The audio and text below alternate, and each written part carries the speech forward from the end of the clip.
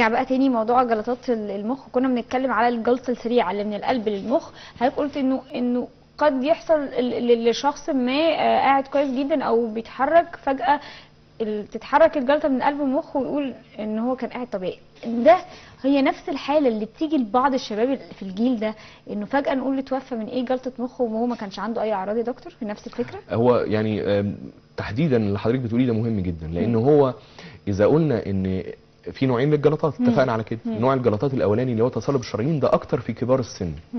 لكن النوع اللي هو بيجي من القلب ده أكتر في صغار السن. يعني. عشان أمراض القلب أكتر في صغار السن. فبالتالي آه، أمراض القلب اللي أنا أقصده روماتيزم القلب مش أمراض الشرايين التاجيه أمراض. الشرايين التاجيه فعلا في الكبار لكن أنا بتكلم أمراض الصمامات بتاعة القلب روماتيزم القلب ده أكتر في الأطفال أو في الشباب في الشباب. وبالتالي حدوث الجلطات عن طريق القلب أكتر في صغار السن.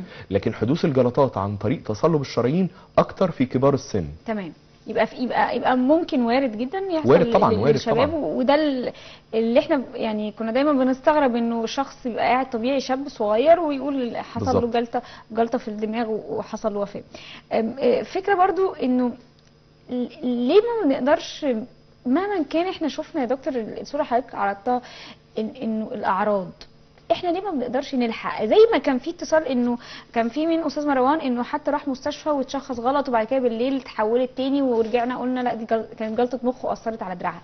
ليه ده بيحصل؟ ليه ما بنعرفش في الأول نكتشفها أو بيختلط علينا الأمر إنه لا دي ممكن جلطة أو مش جلطة؟ هو الحقيقة في أكتر من عامل بيؤخر تشخيص الجلطة اللي المفروض تشخيص يتم في خلال ساعات. إحنا ساعات بنأخره الأيام. في أسباب ليها علاقة بالأهل نفسهم أو بالمريض نفسه. بعض الأحيان المريض بيبقى رافض فكرة إنه يعترف ان هو عنده إن هو عنده مشكلة. جلطة. فيقول لا أنا مثلا تقل اللسان ده يفسره بأي سبب. أصل مش عارف انفعلت اصلي آه، كنت ما نمتش كويس اصلي كلت أكلة تقيلة. أي تفسير دون أن يتوجه يعترف. مباشرة آه. يتوجه مباشرة للمستشفى. آه، رقم اتنين بعض الأهل أحيانا بيضيعوا وقت في آه، يعني إجراءات غير مفيدة. بمعنى إيه؟ أول إجراء مثلا نجيب دكتور البيت.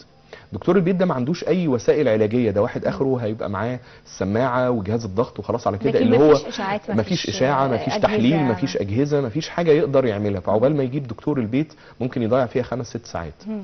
ممكن إجراء تاني يتوجه إلى مستوصف جنب البيت مستوصف جنب البيت عقبال ما يروح وينتظر فيه شوية ويكشف ويروح يجيب الدواء العلاجي اللي كتبه له غالبا ممارس عام أو مم. طبيب حديث التخرج فبيبقى ممكن ضيع له يوم أو يومين لحد ما نكتشف فيما بعد إن هو كان عنده جلطة ولم تكتشف. تمام. يبقى أنا لازم الإجراءات اللي هي غير سليمة دي لازم أتفاداها. الإجراء الصح إيه؟ إن أنا أتوجه لمستشفى أقرب مستشفى كبير. مم. ليه مستشفى كبير عشان أبقى ضامن المستشفى دي فيها أجهزة أجهزة. مم. أهم جهاز بالنسبة لي هو الأشعة المقطعية لأن ما ينفعش أعالج أو أشخص بدون أشعة مقطعية برضو في مفهوم لازم نصححه عند الناس أنا ال ال ال بعمل الأشعة المقطعية عشان أستثني وجود. النزيف.